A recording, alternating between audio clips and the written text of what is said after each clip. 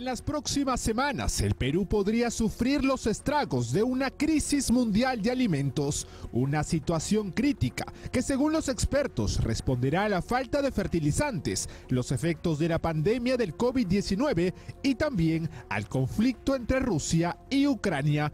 En ese contexto, los gremios agrarios del Perú presentaron un proyecto de ley con el que buscan hacerle frente a este duro escenario.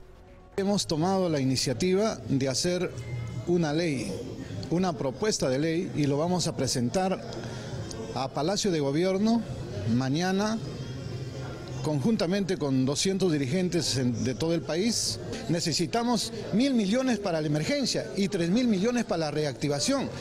Bien planificado, bien sustentado por nuestros técnicos y obviamente por nosotros también.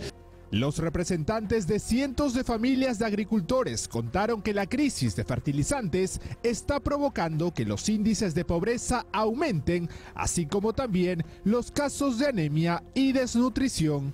La crisis para nosotros ha logrado no solamente empobrecernos al 50% del campesinado, sino también grandes estragos como la anemia, la desnutrición y el hambre.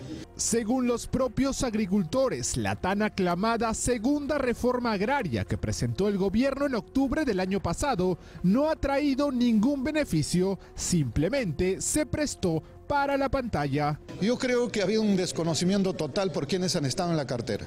Ellos piensan que hacer una segunda reforma agraria significa simplemente plantear cualquier cosa y nosotros en ese sentido no avalamos y además, porque no avalamos, estamos presentando una propuesta integral. Ahora, frente a la crisis de fertilizantes que trae como consecuencia el alza de algunos alimentos de la canasta básica, los agricultores piden que se escuche su pedido. Sabemos que es ahorita eh, nuestra agricultura está pasando momentos terribles. Somos las mujeres y también las mujeres del campo las que hemos tenido que solventar en la pandemia a nuestro Perú, a todo el Perú. Y ahora estamos pasando una crisis en un aspecto de emergencia, que los fertilizantes tienen que ser entregados y también eh, a bajo costo. Los gremios agrarios del Perú también informaron que marcharán este 26 y 27 de junio para exigir que el Ejecutivo y el Congreso pongan atención a sus reclamos.